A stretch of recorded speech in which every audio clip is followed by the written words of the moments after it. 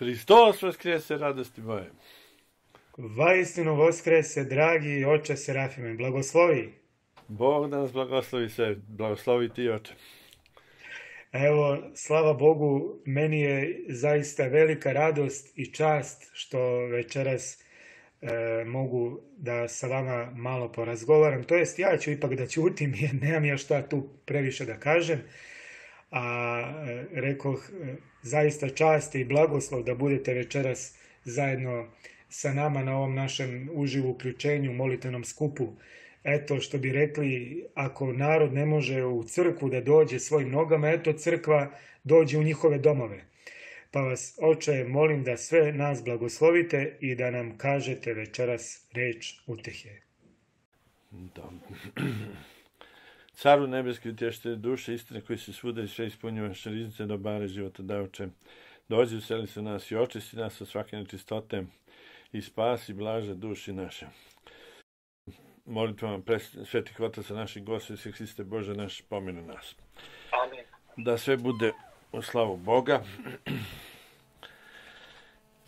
Hteo se da pričam prvo o očuvanju mira, unutrašnjeg mira. To je sad ovo, nešto što je neophodno potrebno. Ja vas molim, ako možemo malo samo telefon taj da se nametne nekako, Da. malo bolje čuje. Aha, evo. Jer se sad bolje čuje. Sad ste vam. Da. Evo, gledamo, svedoci smo svi kako se lako danas gubi mir. Zove me jedna sestra i kaže, oče, moji roditelji samo vise na, na televiziji, kaže, potpuno su izgubili svaki mir, kaže, ja se molim Bogu da crkne televizor. Ja kaže, amin. Znači, treba da čuvamo mir.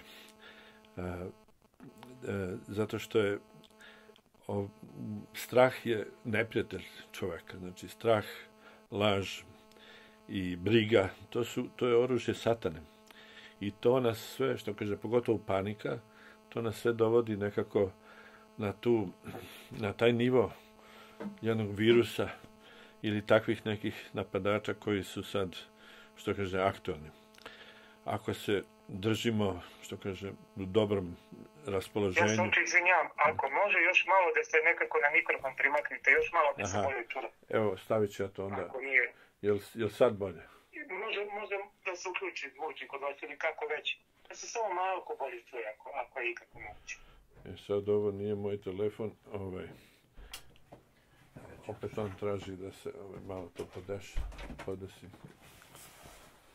Aj sad. Aha, tako. Uf.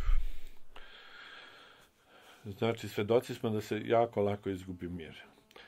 Ali to je to što treba da očuvam. Znači, i treba da se klonimo loših misli, znači, i hulnih, i gnevnih, i ovih zastrašujućih, i bilo kojih depresivnih.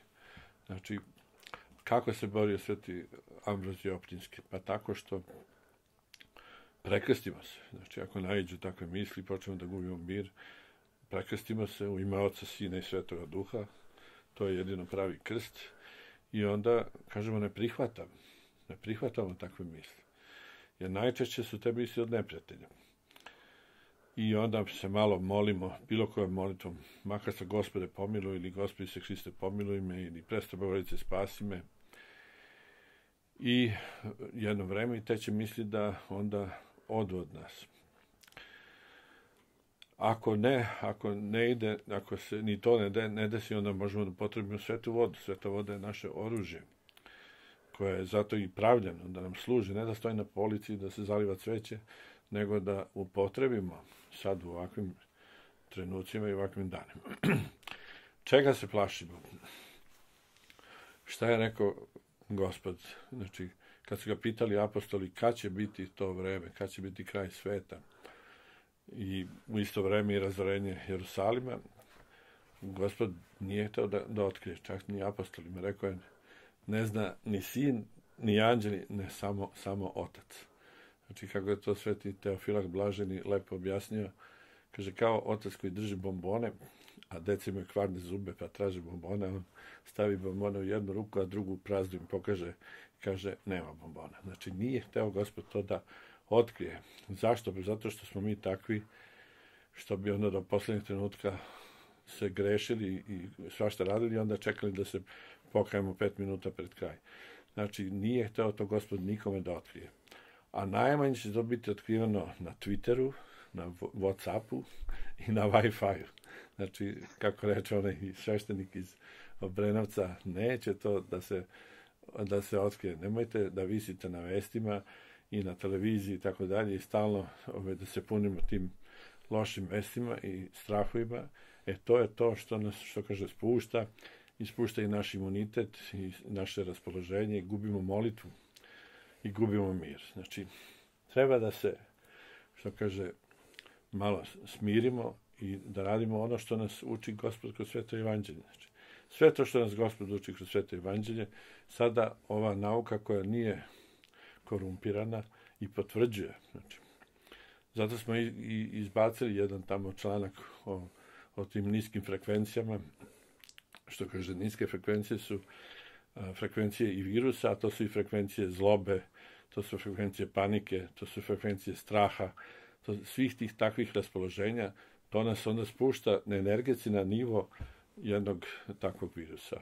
Dok jedna obična zahvalnost, saosećajnost, jedna molitva, osjećaj ljubavi, osjećaj zahvalnosti, osjećaj zahvalnosti svima koji se sada trude, koji, koji nesebično pomažu, to je već velika, visoka frekvencija, znači preko 150 Hz i tu, što kaže, virusi nemaju pristupa.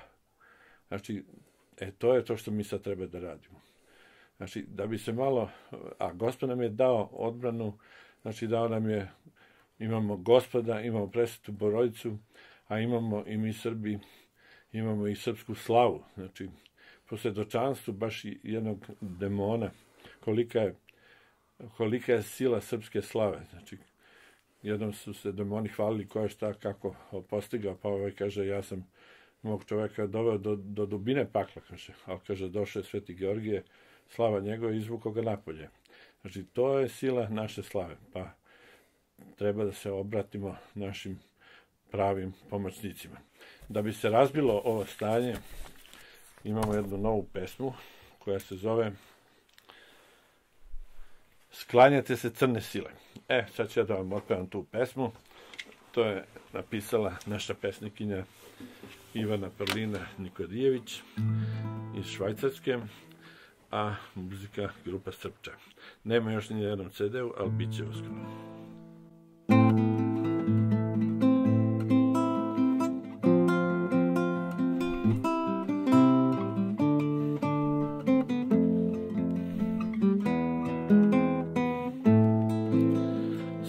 Sklanjajte se, crne sile, šta ste tako navalile, ima ko se za me brine, ko okove da mi skine. Sklanjajte se, crne sile, bešte nazad vi ima ko se za me brine, da ne bude dublji pan. Sklanjate se crne sile, otrov za dušu moju, ima ko se za me brine, ko zaštitu pruža svoju.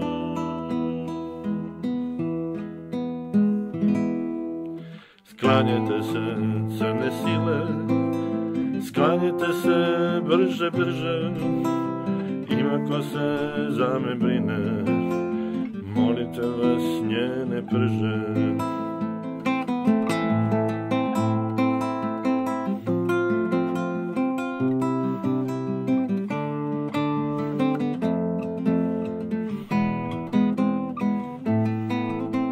Sklanjete se crne sile, ostavte me muka trista, ima ko se za me brine, Majka Božja djeva čista.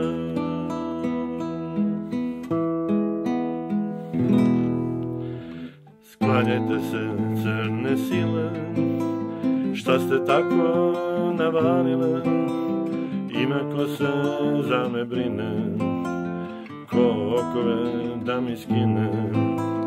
klanjajte se crne sile, ostavte me muka trista, ima ko se za me brine, majka Božja, djeva čista.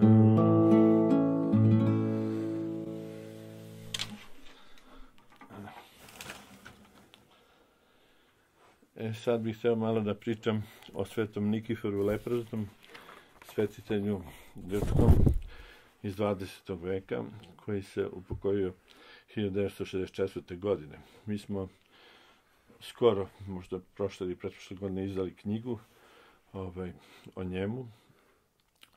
Nažalost, još u toj knjizi nema ni, ni, ni kanona, ni akatista, ali radimo na tome da se prevede sad kanon svetitelju svetom Nikiforu Leproznom, pa će uskoro i to biti.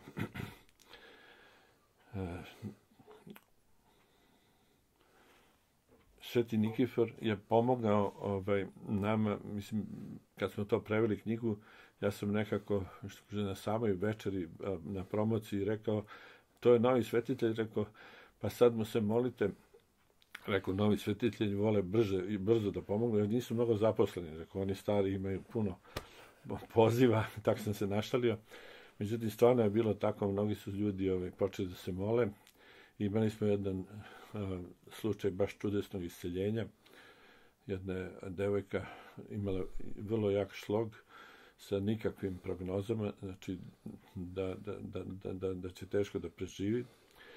I njeni roditelji su došli, mi smo dali da taj tropar i a, svetom Nikiforu i a, skoro poslušnici, bez pomoćnici počeli smo da ovaj, pominjemo na proskomidi i zajedno da se molimo i tako, znači, umesto tih loših prognoza, za nedelju dana ona je polako ovaj, progledala izašla iz kome.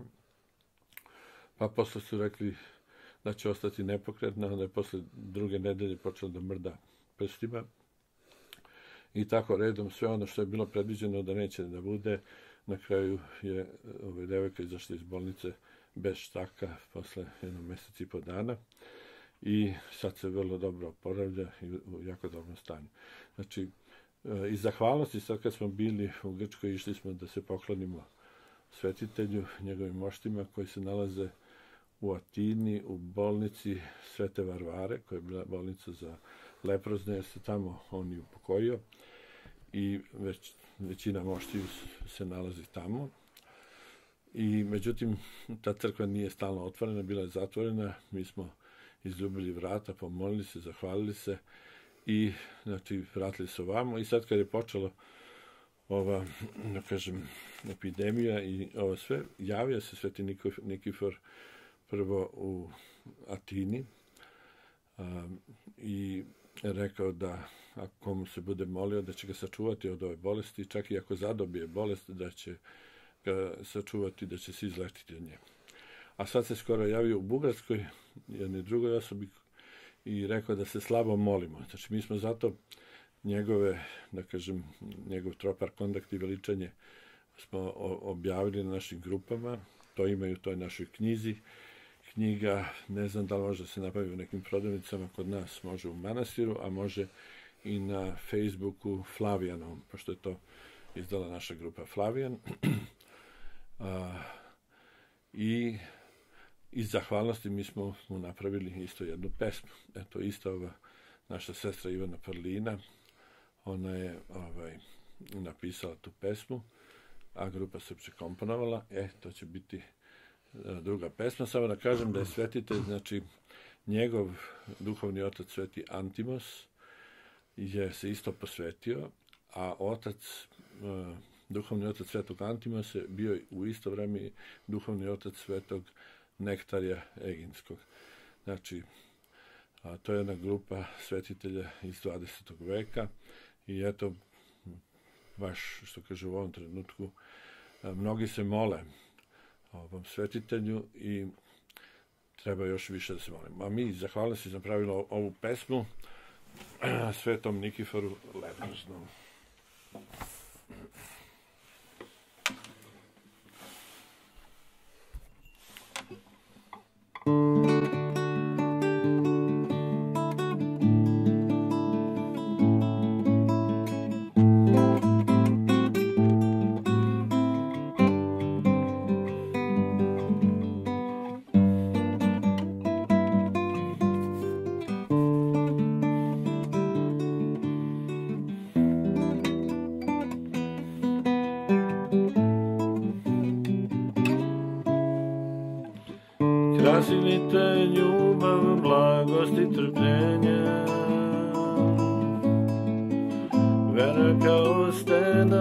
Milosti spasenja.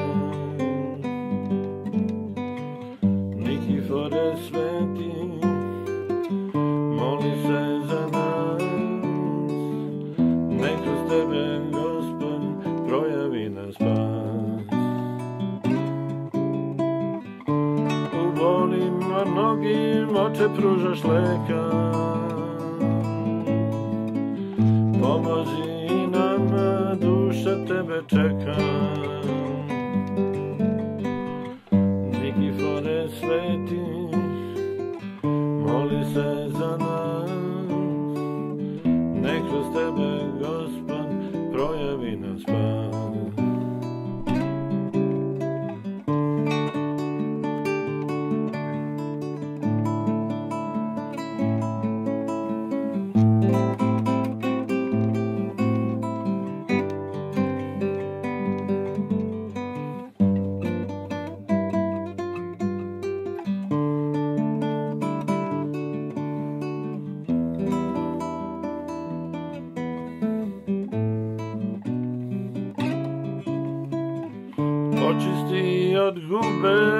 naše grešne duše.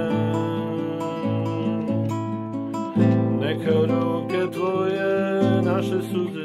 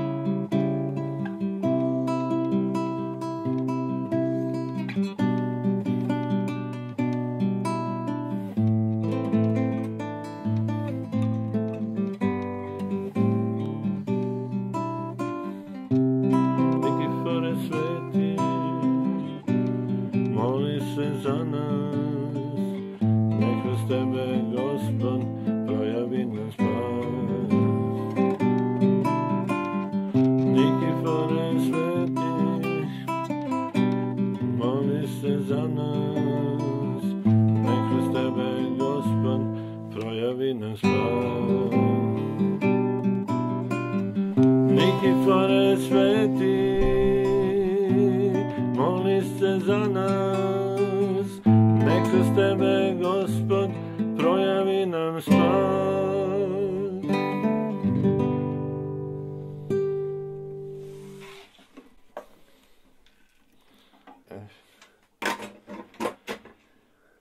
E sad, još da kažemo nešto o poplavi raznih informacija. Ovaj, ako razbijemo glavu šta je, da li je ova teorija zavere, da li je ona, opet, ćemo, opet upademo u loše vibracije. Zato, što kaže, ja ne verujem da se njegova svetost patrijarh Moskov si uplašio od virusa ili naš, naša svetost patrijarh Srpski da se uplaši od virusa. Ali kad su nam takvi ljudi, što kaže, koji sede na tronu Svetog Save, na tronu Svetog Aleksija i one Filipa, Petra Moskovskih dali takve savete, ovaj, bolje da ih poslušam. Znači, i ako smo u, u takvoj situaciji sad da ne možemo da idemo na bogosluženja, to ne znači da treba da provodimo vreme, što kaže, da gubimo vreme na praznoslovi, na, na gledanje raznih serija, jer javio se gospod jednoj monahinji, odnosno imala je viđenje gospodnjih nogu, kako iz, iz nogu ističe mirom, velike količine mira. I čuo se glas, kome ja ovo sad da dam? A kako smo već sprečeni, ako ne može da se ide u crkvu, to nismo sprečeni da se kući molimo. Onaj ko se bude smirio i ko se bude molio, dobijat će blagodat i kući i na autobuskoj stanici, ali autobusa nema. I na svakom mestu, znači, Gospod je dao da možemo svuda da se molimo i kako kaže Sveti Serafim Sarovski, naš cilj hrišćanskog života je da zadobijemo blagodat Duha Svetoga, a blagodat se najlakše zadobija molitvom, jer molitva je dostupna svuda i na svakom mestu. E pa da koristimo, što kaže, vreme i neko se našalio pa kaže, ovaj, ovaj, muževima koji su sad zatočeni, kaže, u karantinu sa ženama, kaže, izdržite, braćo, to je ovako šala, ali ja ću da vam kažem savjet oca ovaj, Andreja Konanasa. Kaže, želim vam da se uvek radujete tome što imate porodicu, jer je u pitanju velika čast. Ako imate jedno dete, ako imate mnogo dece, ako nemate decu, sve što je Bog dao svakome i što sad daje, sve što sada osjećate u pitanju je velika čast i veliki dar. Kako je radosno znati da postoji osoba koja živi i postoji za tebe, da je u pitanju voljeni koji misli na tebe, uvažavate, da se ti nalaziš pored njega, kako je sve to predivno. Velika je čast to što vas je Bog oženio i postavio vence na vas. Venčava se sluga Božiji, suškinjom Božijom, to jest tvoja žena je tvoj venac, tvoja slava je tvoj muž, kako je to predivno. Želim vam da se radujete tome, želim duge godine porodičnog života, da će sve postojati radi dobra. I razlike u mišljenjima radi dobra. I svađe radi dobra. Da se na kraju duša smekša. Tako će i biti potrebno je samo vreme. Znači, iskoristimo ove dane da se malo produbi ovo da, što kaže, upoznajte svoje ukućane koje ne viđate godinama zato što ste stalno na poslu, ovamo jurni, jureći da platimo račune, da ovo, da ono, što kaže, sad je gospod dao šansu da, bude, da budete malo na okupu i da se, što kaže, više upoznate, se više volite, da jednim drugima budete potpora i podrška. I svi jednim drugima da budemo potpora i podrška. Zato, što kaže, da se klonimo svih tih a, mračnih misli, svih nekakvih strahova. Nije važno odakle ovo došlo, i kako je došlo. Znači, Bože je dopuštenje. Znači, a Gospod traži naše smirenje. Bog da nas sve blagoslovi. I za kraj, evo pesma, čujem da ste tražili pesmu da opevamo Pavle, patrijarh svetli celoj planeti. Napomenemo i patrijarha Pavla. Setite se kad se upokojio patrijarh Pavle, bila je proglašena epidemija svinskog gripa moje razmišljanje bilo da se možda čak naš sveti patrijah i molio da, mu, da ga Bog uzme u, u, u, takvi, u takvim trenucima. Jer onda su pošli ljudi se mole, da idu u crkve, zvona su zvonila, na kraju je došlo milion ljudi na opelo našeg svetog patrijarha i posle se nije čulo ništa, ni o kakvoj epidemiji. Ona je jednostavno nestala. Možda se tako moli i naš sveti Vladika Milutin koji se sad upokojio, a Bog zna i tako dalje. Znači, da se, da se molimo i mi, da nam Bog bude na pomoći, da čuvamo svoj mir i da se ničega ne bojimo.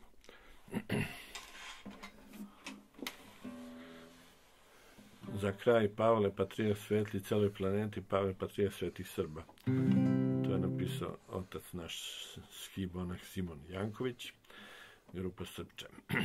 Boga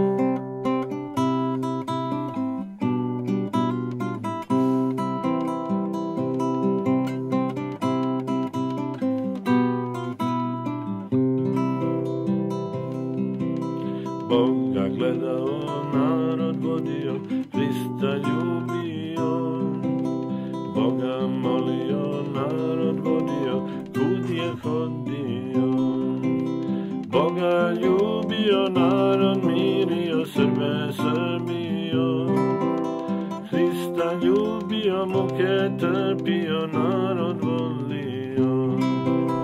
Hrista nosio, Boga ljubio, jer je slečio. Narod volio, Hrista molio, Boga ljubio. Boga nudio celome svetu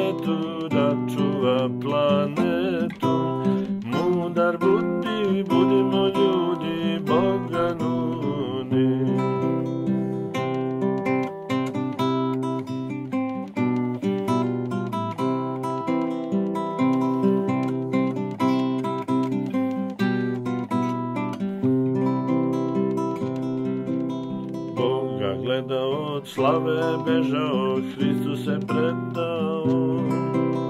Narod je mirio i veru širio, Boga volio. Decu je volio i narod štitio, Boga molio. Ide ponovo na sveto Kosovo, letos gotovo. Ma nije gotovo, ide ponovo u ime Hristovo.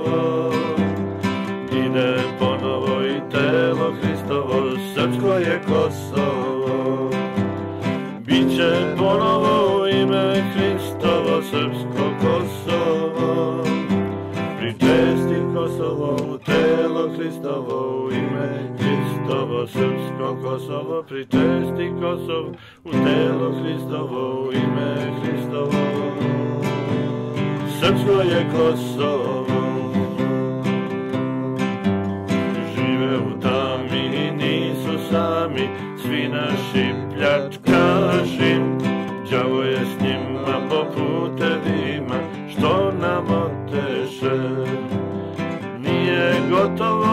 Ide ponovo ime Hristovo.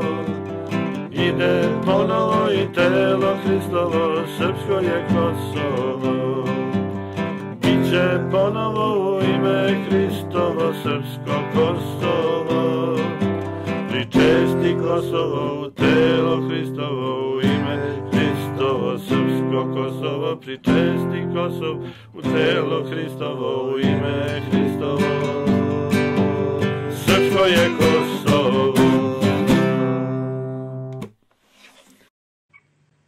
Oče, Da, ja vam iskreno od srca blagodarim za ovo predivno veče koje ste nam omogućili, da nas ovako ukrepite ovim divnim rečima i zaista i da nas podsjetite sve na patrijarha Pavla. Tačno je to da je tog dana, da je tih zapravo dana bila proglašena epidemija svinskog gripa, a da je bilo milion ljudi i eto, molitama svetog patrijarha Pavla, niko se tu nije razbolio, niti se išta desilo loše tim ljudima. To samo pokazuje zapravo svima nama na utvrđenje naše vere.